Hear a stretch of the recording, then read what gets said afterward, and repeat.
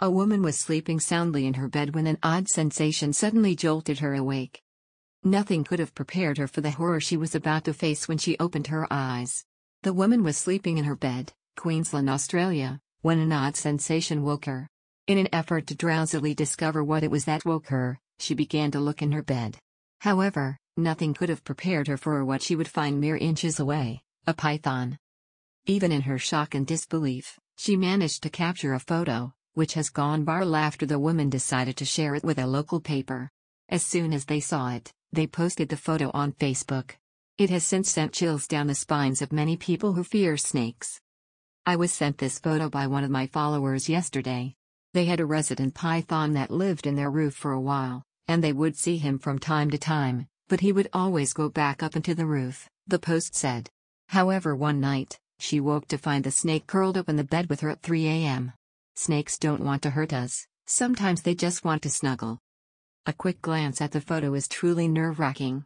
It shows the python curled comfortably at the top of her bed, right next to her pillow, where she was sleeping.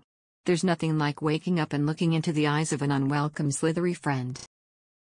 Since the post, the snake catcher has offered advice to help reduce the chances of something similar happening at another home. In fact, two main things can be done as preventative measures and they include installing a fly screen and keeping doors and windows closed.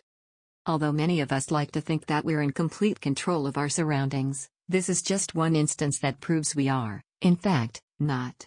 Wild animals and creatures are still quietly lurking in our lives, and there is no telling when they just might pop up when you're most vulnerable.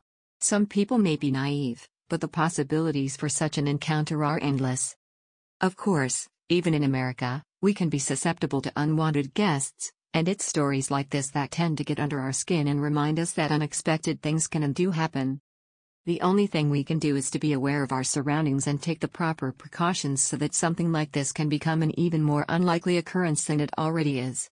If you're afraid of snakes, or even something else that could be lurking in your home, there's no doubt that you will be checking your sheets before you go to bed tonight.